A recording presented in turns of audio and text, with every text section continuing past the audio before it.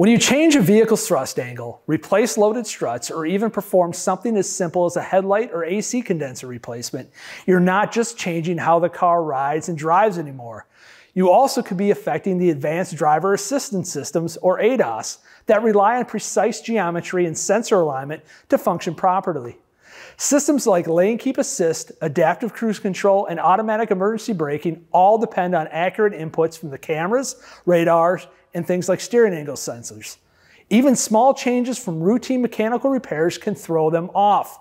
The challenge is many technicians still think of ADAS as strictly a collision problem, but that's not the case. More and more everyday mechanical work is directly tied to ADAS performance, and that's where the Launch Tech USA's 3-in-1 approach helps takes the mystery out of calibration. By segmenting ADAS into three practical silos, radar, AVM, RCW, and glass have scalable, affordable ways to get started and do the job right, and to keep revenue in-house.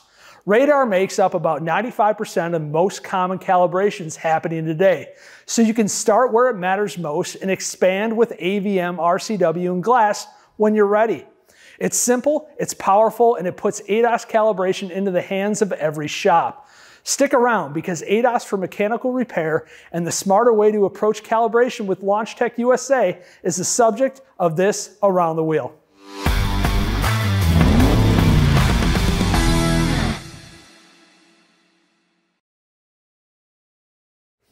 Before we look at how your repairs affect ADAS, let's review what these systems are actually depending on. Advanced driver assistance systems are not standalone operations. They're integrated into vehicle steering, suspension, braking, and even ride height. These systems include cameras, usually mounted on the windshield, used for lane keep assist, traffic sign recognition, and forward collision warning. Radar, found behind bumpers and grills, used for adaptive cruise control and collision mitigation, braking, and warnings. Ultrasonic sensors, located in bumpers and used for parking assist. And steering angle sensors, accelerometers, and yaw sensors. These tie directly into electronic stability control, lane centering, and traction control. Each of these sensors assumes the vehicle's steering geometry, suspension angles, and ride height are correct.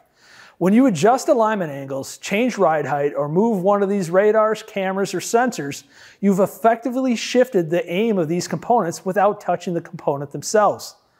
Think about lane keep assist. The camera is looking down the road, but if the vehicle thrust angle changes without letting the camera know, the system can interpret the vehicle as drifting and can falsely correct the steering. This is not just annoying, it's unsafe. A lot of technicians assume ADAS is only the concern of glass installers or body shops. But the truth is, many of the common mechanical repairs you perform every day directly affect these systems. Even something as simple as routine undercar repairs. Anytime you replace things like control arms, steering components, or loaded struts, you're changing suspension geometry. Even if the vehicle is aligned afterwards, ADAS sensors that rely on precise geometry, like cameras and radar, may now be misaligned relative to the vehicle's thrust angle. And ride height is critical. Worn or broken springs, air suspension repairs, or even aftermarket lift or lowering kits all change the angle of the camera and radar sensors. A half inch difference in ride height can mean a radar sensor is aiming at the pavement instead of the car ahead. Even routine repairs like headlight or AC condenser replacements can warrant the need for an ADAS calibration. If the removal of the bumper cover causes the front radar module to have to be moved or removed, most service procedures will then call for a calibration to verify correct alignment and system operation when the repair is complete. The key point is this, you don't have to touch the sensors themselves to affect ADAS. Even if you change suspension geometry, ride height, or performed an alignment, or moved a sensor just to complete some other repair, you've changed the foundation these systems rely on. And that's why calibration is so critical. So why does all this matter? Because when ADAS is out of spec, it doesn't just mean an annoying light or a false warning. It can mean a system fails to respond in a critical situation. Modern safety features like automatic emergency braking, adaptive cruise control, or lane keep assist are designed to react faster than a human can. But if a radar sensor is pointed three degrees off center after a suspension repair, the system may brake too late or not at all. That puts the driver, their passengers, and everyone else on the road at risk. There's also liability. If a vehicle leaves your shop after a repair that requires ADAS calibration and it's not performed, you could be held responsible in the event of an accident. Attorneys and insurers are now looking closely at repair documentation, and a missing calibration report is a major red flag.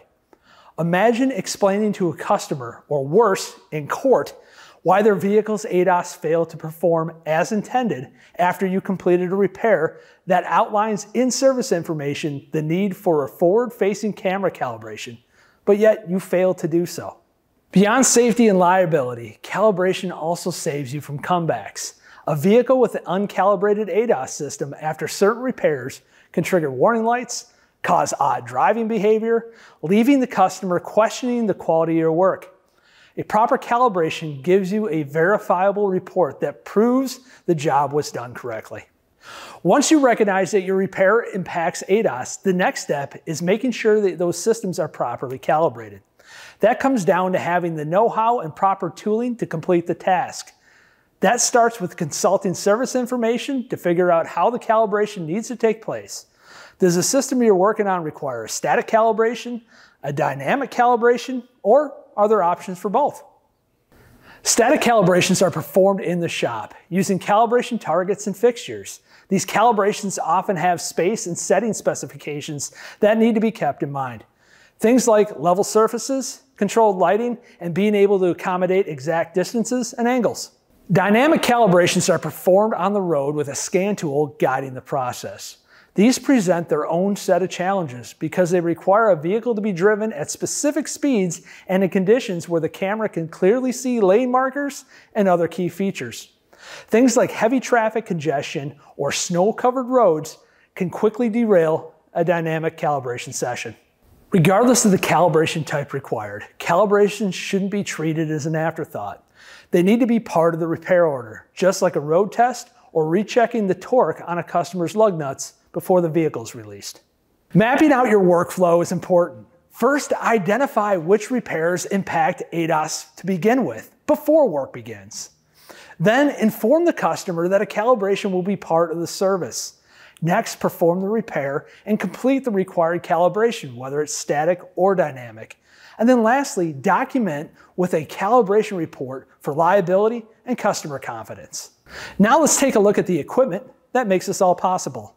LaunchTech USA's 3-in-1 is designed to simplify and streamline ADAS calibration by combining three of the most common radar tools into one compact, lightweight kit.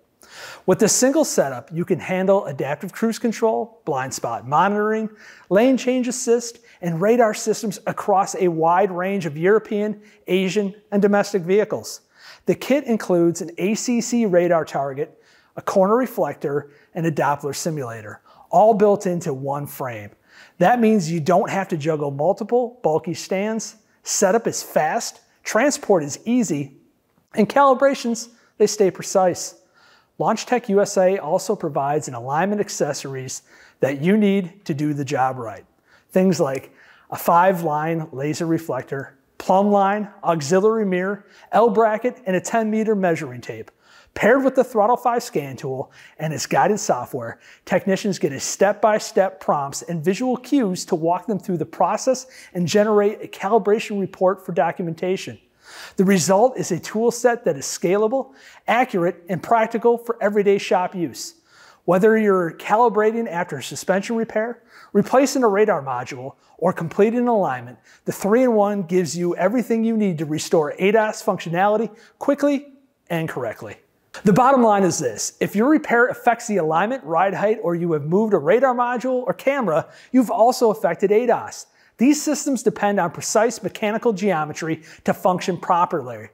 Skipping calibration doesn't just risk a warning light, it risks the safety of your customer, their family, and everyone else on the road.